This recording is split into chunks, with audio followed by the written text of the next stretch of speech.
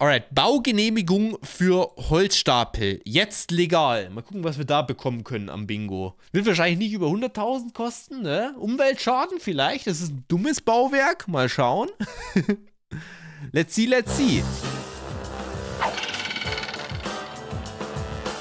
Eine echte Berühmtheit im Inselhotel in Potsdam. Hier neben Jürgen Vogel links. Jürgen Vogel.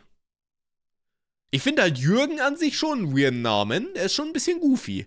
Leute, Jürgen Vogel. Gilt das schon als dummer Name? Ich finde, dummer Name klingt irgendwie so hart. Ich, ich, benenne es jetzt um in äh, Goofy-Name, weil ich will nicht die ganze Zeit die Leute beleidigen. Ein Goofy-Name ist das für mich. So, Jürgen Vogel. Damit kann ich mit meinem Gewissen leben.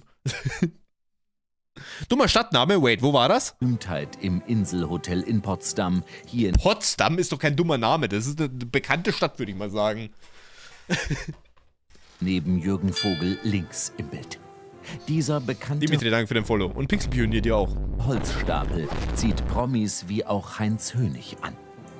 Doch der Reihe nach.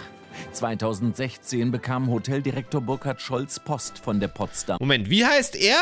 Direktor Burkhard Scholz Post von Burkhard Scholz. Also die zusammen ergeben zumindest einen Goofy-Namen.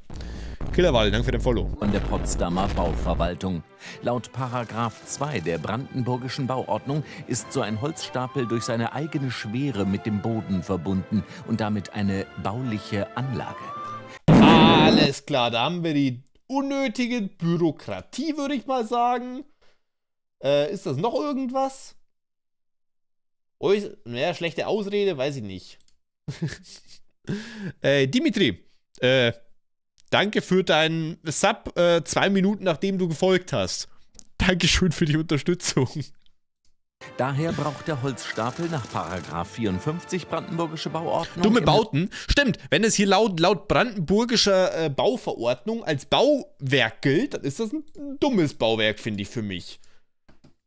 Stimmt schon, ja. Landschaftsschutzgebiet am See eine Baugenehmigung. Dass es sich hier um eine bauliche Anlage handelt bei den Kaminholzstapeln. Alter, Burkhardt, den Namen habe ich doch nie gehört. Finde ich lächerlich und kleinkariert. Doch für die Bauverwaltung ist klar... Könnt ihr aufhören, die ganze Zeit zu entfolgen und neu zu folgen? Mein, mein Ding erkennt das nicht als neue Follows und macht dann die ganze Zeit diesen scheiß Alert. Der Holzstapel verunstaltet das Orts- und Landschaftsbild. Räumt Herr Scholz den Stapel nicht weg, muss er eine Strafe von 1200. Alles klar, da haben wir die schlechte Ausrede. Verunstaltet das Landschaftsbild und die können es dann verklagen, weil das ist ja äh, ein Bauwerk. So, und damit machen wir jetzt die Alerts aus, ne? Weil jetzt, wo ich es gesagt habe, machen alle erstmal ihren Follow weg und wieder hin. Alles klar, Leute, gut, dass ich mich auf euch verlassen kann. 250 Euro zahlen. Anderenfalls äh, würde man. Politiker entscheiden Bullshit. Ja, sehe ich da schon auch. Ne, wir müssen immer dran denken, dass so, so Stadtverwaltung ist irgendwie auch Politiker. Äh, eine Zwangshaft beantragen, wenn ich diese Strafe dann nicht zahlen würde. Der Streit schaukelt sich hoch. Regionale und überregionale Zeitungen berichten immer wieder über. Aber müsste das dann nicht für jeden Holzstapel gelten? You know? Also, die können doch jetzt nicht für jeden Holzstapel eine Baugenehmigung beantragen oder nur bei denen, die es stört, oder was? Den Haufen Brennholz. Schließlich landet der Fall sogar vor Gericht. Doch dann ein historischer Tag. Am 9. November 2020 wird hier Geschichte geschrieben. Dieser ominöse Stapel hat uns jetzt vier Jahre beschäftigt. Alter, wer stellt denn auch sein Holzlager einfach so wirklich mitten in die Pampa rein? Muss ich aber auch mal sagen, ne? Es gibt nochmal ein, ein doppeltes Ankreuzen für dumme Bauten. Also, das stellt man doch eigentlich neben sein Haus oder so oder so in den Garten oder. Wem gehört. Wieso steht das da? So mitten im Feld mit ganz viel Platz außenrum. Why? Und ich freue mich, dass. Also, da kann ich die Stadt schon irgendwie verstehen, dass es halt auch ein bisschen dumm dasteht. Nun hier Frieden schließen werden und äh, die Stadt Potsdam und wir reißen an diesem 9. November damit auch eine Mauer ein. Holzdire äh, Hoteldirektor Scholz trifft sich zum Holzstapelgipfel mit dem Baudezernenten. Der hat den Kompromiss möglich gemacht. Die Menschen, die hier im Hotel sind, wollen ja auch Landschaft genießen. Also müssen wir gemeinsam mit dem Eigentümer des Hotels dafür sorgen, dass die Landschaft wirklich noch intakt bleibt. Stimmt, so ein Holzhaufen, da ist ja auch die Landschaft quasi nicht mehr intakt. Das ist ja, also, der möchte, dass ich hier fetter Umweltschaden ankreuze, ne, mit der Aussage, aber das sehe ich gerade gar nicht. Drei Fernsehteams und zahlreichen anderen Journalisten verkündet Hoteldirektor Scholz dann die historische Wende im Holzstapelstreit. Mit dem Holzstapel haben wir gemeinsam verabredet, dass dieser 15 bis 20 Meter weiter weggeräumt wird, damit nicht mehr das Landschaftsbild beeinträchtigt. Gesagt, getan. Gemeinsam statt gegeneinander.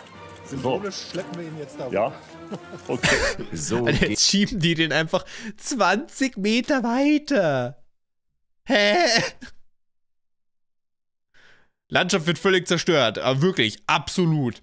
Sehr schrecklich. Und 20 Meter, aber zum Glück ist ja 20 Meter weiter keine Landschaft mehr hier, ne? Hier mitten im Wald. geht Versöhnung.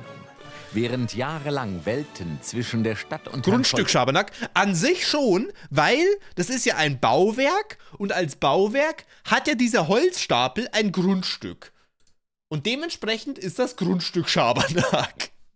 Lagen, Hoffen wir mal, dass hier noch ein fetter Umweltschaden entsteht. Dann haben wir ein Bingo. liegt die Lösung jetzt nur schlappe 15 Meter entfernt, knapp außerhalb des Landschaftsschutzgebiets. Und hier ist auch keine Baugenehmigung. Fällt die Mauer wie 1989, ja? Ist ja auch ein historisches Ereignis. Nein. Von hier nach hier. Ein kleiner Schritt für den Holzstapel, ein großer für die Bürokratie. Nice. Ham Alter, was eine Scheiße. Ich feiere die Folgen von heute. Die heutigen Folgen sind alle richtig geil. Wieso sind die denn alle so unfassbar stupid?